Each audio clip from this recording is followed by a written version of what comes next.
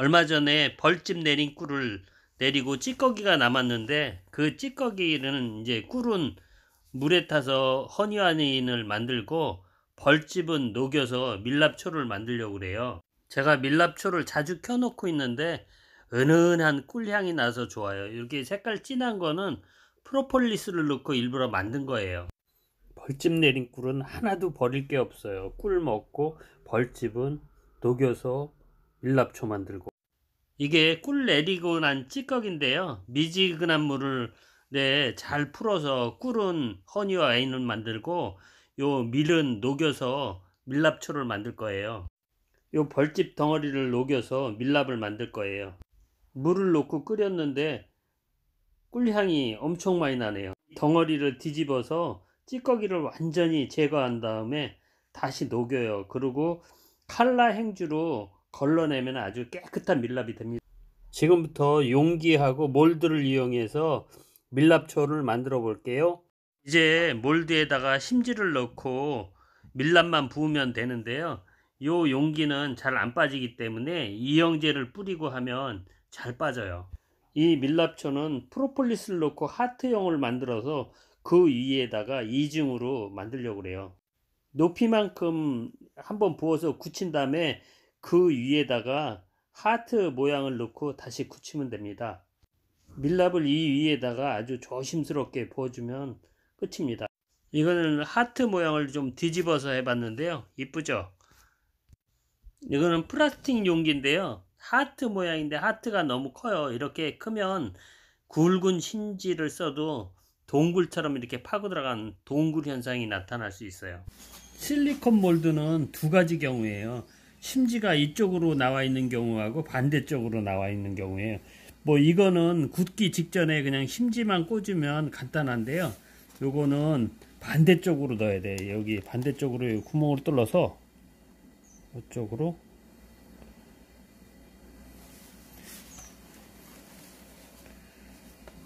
심지를 넣어주면 됩니다. 이렇게 심지를 넣고 그 다음에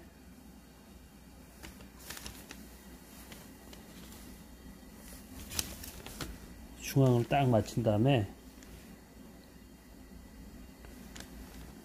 그럼 밀랍은 굽기 직전에 붓는 게 제일 좋아요. 그래야지 갈라짐 없이 빨리 굳습니다. 이렇게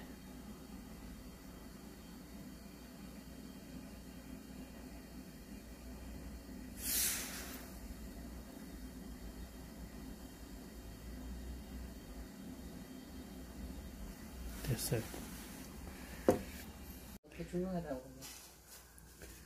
이런 경우에는 여기 가운데 굽기 직전에 굽기 직전에 이렇게 가운데다가 이렇게 세워주면 됩니다.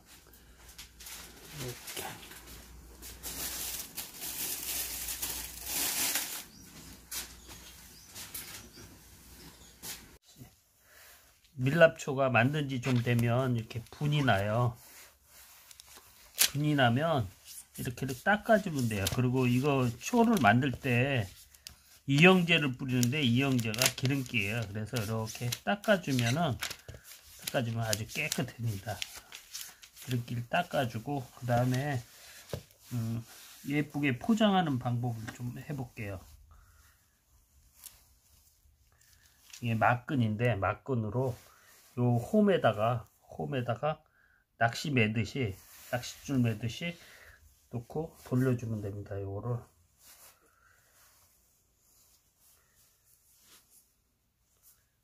잘 팽팽하게 당겨서 돌리는데 풀어지지 말라고 여기 중간에 한번 밑으로 가야 돼요. 요 선 밑으로 가고 다시 한번 위로 가고 한 번 정도만 더 밑으로 가고. 자 이런 식으로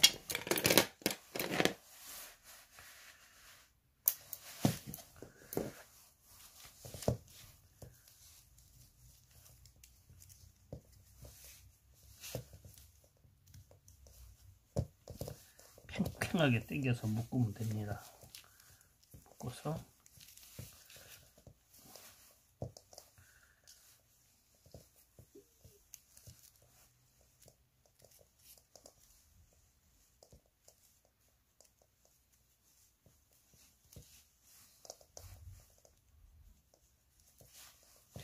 이렇게 막근이가 막근이 되나서 뻣뻣해요.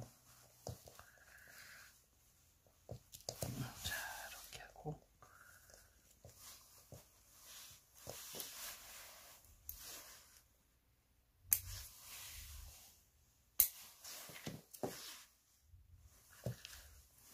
자, 없는 것보다 좀 이쁘죠? 그 다음에 요거는 요거는 다이소 같은 데 가서 가면 있는데 이게 반짝이 종이에요. 빳빳한 종인데 요 부분에 띄는 부분이 있어요. 붙이게 돼 있어요. 이렇게. 이렇게. 그래서